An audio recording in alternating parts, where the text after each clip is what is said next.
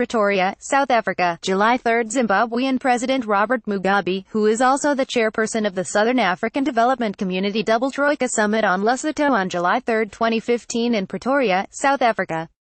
The summit is expected to find a solution to Lesotho's political crisis. Photo by Gallo Images Sunday Times Simphiwe Nkwali The Democratic Alliance believes an election is needed urgently following Robert Mugabe's resignation. In a statement released on Tuesday, the DA said Zimbabwe's ruling party has been complicit in the suffering of the country's citizens and cannot be trusted to bring change.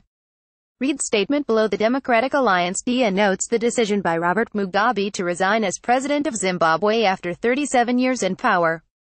This is a victory for the people of Zimbabwe who have suffered greatly under the latter years of Mugabe's reign. The story of Robert Mugabe is not a unique one, and is all too familiar on our continent. A once liberator of his people, Mugabe brought division, instability, and economic ruin to Zimbabwe as he made the unfortunate transition from liberator to dictator.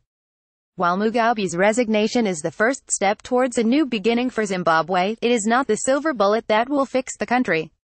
Mugabe may be gone, but the ruling ZANUPF remains.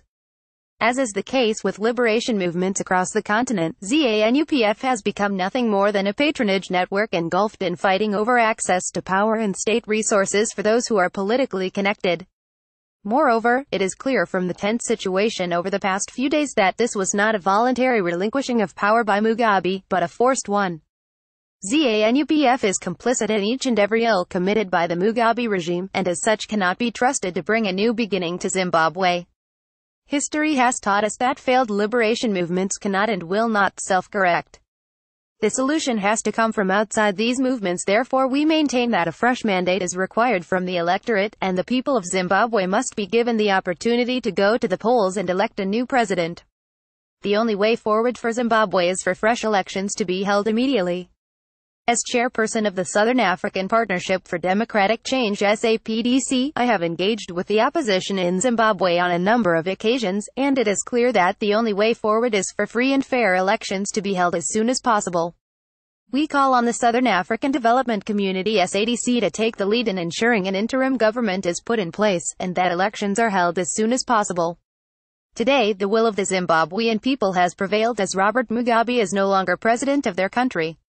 It is now time for the Zimbabwean people to decide who ought to replace him as president, and for an election to be held at once. Also read Watch Zimbabwean journalist cries tears of joy upon hearing Mugabe has resigned. Tags Democratic Alliance or Robert Mugabe Zimbabwe. Subscribe to our newsletter.